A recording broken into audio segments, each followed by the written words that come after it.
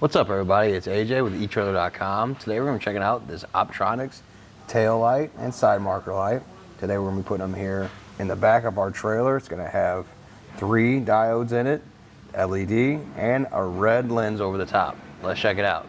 Today we're going to be putting on this flatbed Big Tex trailer. So we have one of them removed already. It's going to go right into place here. It's got the two prong connector.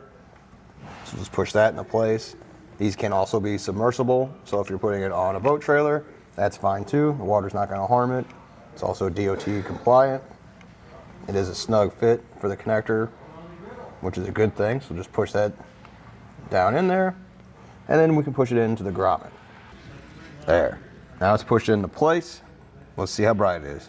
With a replacement light in place, you can see the old ones on either side of it.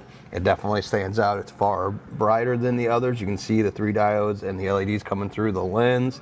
It's also has spots for the LEDs to shine through a little better than these other ones or have that texture just covering it up and kind of dulls the light. So this is definitely way brighter. The light's gonna be two inches in diameter, so make sure you measure your trailer to get the right lights that are gonna fit it. Overall, I definitely think these are going to be an upgrade for your trailer. You can even see LED to LED. These are quite a bit brighter. Now, if you're upgrading from incandescent, these are going to be much brighter and last longer than those bulbs. So you're not going to replace these for a long time. Well, I think that does it. Thanks for hanging out. Hope this helped.